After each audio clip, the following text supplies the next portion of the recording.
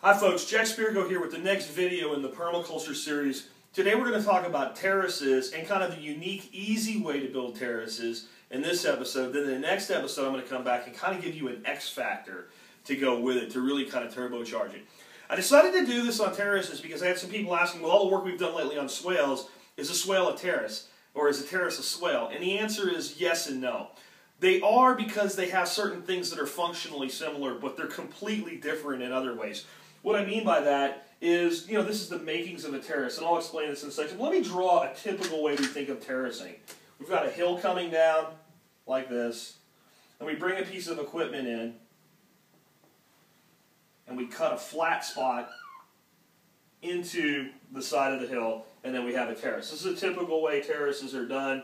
It's, it's not what I want to really talk about with you today. I want to talk about an easy way to do it, especially in an area where you have a lot of rocks, by building up instead of cutting in and down. Um, and I want to kind of give you some scale on this. So you see these little hash marks across here at the bottom? These are one foot. Uh, based on that being one foot. So it's not a super to scale thing, but basically I measured that with my fingers and said, okay, there's a foot. So we've got about 12 feet represented here with a rock pile that would be about 14 to 16 inches tall. So I don't want you to think we're talking about a giant pile of rocks. And this is a simple way to build terraces. And I'm going to tell you how to get creative using A-frame levels to do this and make it super simple and super accurate. Um, an A-frame level, for those that are maybe not familiar with it, is a simple structure. We put two pieces of wood in the shape of an A. We put a cross member across it like a big A. And I'll use red for the string so it'll stand out apart. We hang a string down and we put some sort of a weight on it.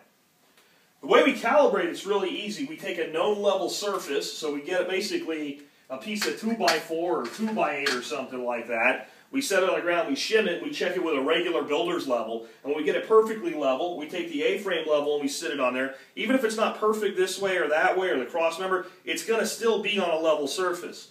The string's going to hang perfectly level to the center of the earth. We're going to mark where the string hangs on the cross member.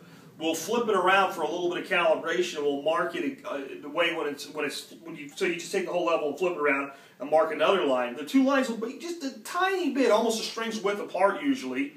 That dead center line, that's your level line that you use. So you walk that A-frame level out. So what we might have done here is we picked an area, let's say 40 feet long, and we go and we take our A-frame level and we mark with flags or stakes a level contour line.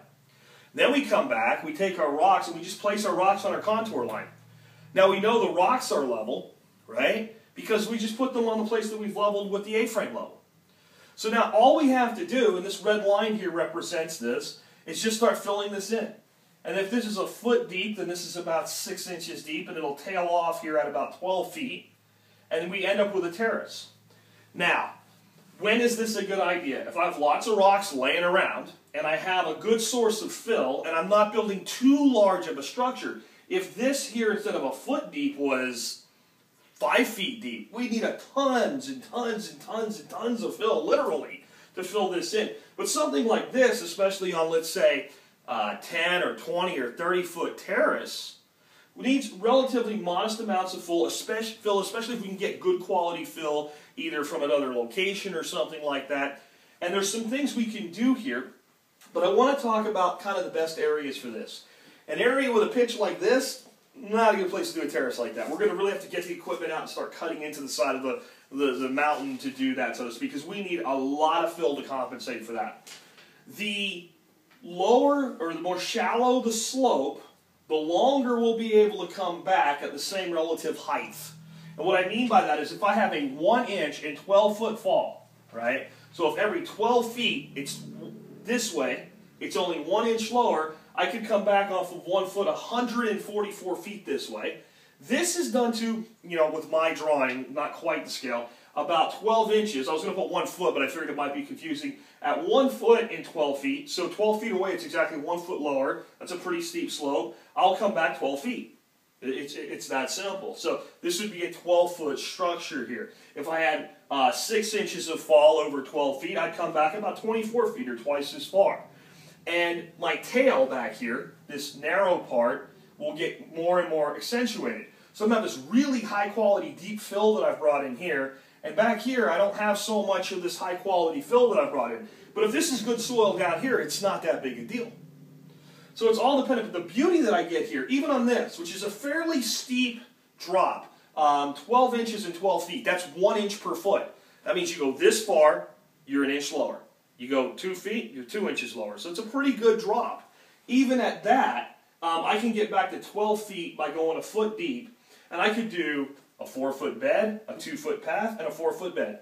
If I was doing standard kind of contour garden beds in there, right? So that'll work. Now, how can I really start to turbocharge this? And before I go forward, again, I want to reiterate how simple this method is. I take my A-frame level, I make a contour line, I put my rocks, and I come back. Now, if I want to do this really accurately, what I'll do is I'll come right here, and I'll tie a string. I'll put a stake in the ground just in front of the rocks at one foot, or 8 inches, or 10 inches, or 16 inches. Remember, guys, I'm not giving you dimensions so you'll use them. It's based on whatever you want.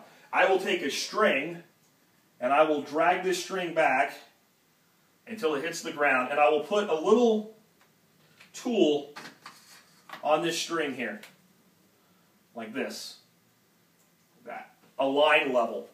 It's a little plastic tool that costs about two bucks. It's about that big, and it goes onto a string and has a little bubble level in it. And wherever the ground is touched back here, and then anywhere along this line, I put that level, and it says level, I have found where this point meets the uphill grade. I'll put a stake in the ground. Then I take my A-frame level back here, and I start tracing the contour line in the same direction for the same distance back and forth, and I put a few stakes in the ground. I bring my, my fill right to the base of that stake, and I'm going to get a perfectly level terrace. It's that simple. Isn't that really, really cool? Now, I can then begin over the years continuously adding mulch up here, and as I add mulch and I build my topsoil, the terrace actually continues to grow backwards into the slope. Now, let's talk about some similarities here with swales and terraces. What this is going to do is act like one really big flat swale in a way. As water comes down, it's going to be coming downgrade, downgrade, it hits this level spot. It begins to soak back passively into the terrace. But the, the land itself still lets the water continue to flow down the water begins to soak in. If it does exceed the capacity of the, the terrace and the subsurface to uh, absorb everything, eventually it starts to run off of the terrace. But if it's a 40 foot long terrace, just like a swale sill, it's like a 40 foot long sill. It's all level and all sheets evenly across. No erosion, plus the water's filtering down through the rocks, continues down great, and if we've done our job right, where does it end up? Our next terrace. So we can do this and put in annual garden systems. Again, a four foot bed, a two foot path, a four foot bed, and they go up to another set of terraces. They don't have to be blocks, they can just be in the ground, right? But you just have the dimensions for that. Or we can build food uh, a forest structure here. You know, if we have if we happen to have a slope working this way and our sun's this way in the sky back here, I can put large trees, small trees, bushes, shrubs, vines, herbaceous layer off of this, just like a swale system. So which one do I do? It all depends. Do I have a lot of rocks? Do I have a modest slope? Um, you know, what do I want to accomplish? How big is the area I'm working in? Uh, how much equipment do I have? You know, do, can I put in a kilometer of swales in a day with a giant excavator? Or am I dealing with small equipment or hand shovels? It all depends on what you're working on and what you want as a designer, your end goal to meet. So, there you go. That's the basics of using a rock to create terraces and get the level. Again, the key is pick a high line for your for your fill. Make it lower. You don't want it to the top of the rocks. You want a little bit below. You want some what you call freeboard there. You want some space to continuously add mulch and things like that and build it up over time. Take a level line back to the end. Mark your spot of level so you're at the same height here and there. Take your A-frame level and mirror this contour. Fill back to it. You got a level swell, uh, level terrace. Uh, now I'm going to, you know, uh, we're going to wrap this lesson here. I'm going to come back and I'm going to give you a way to turbocharge this, and it might even blow you away a little bit.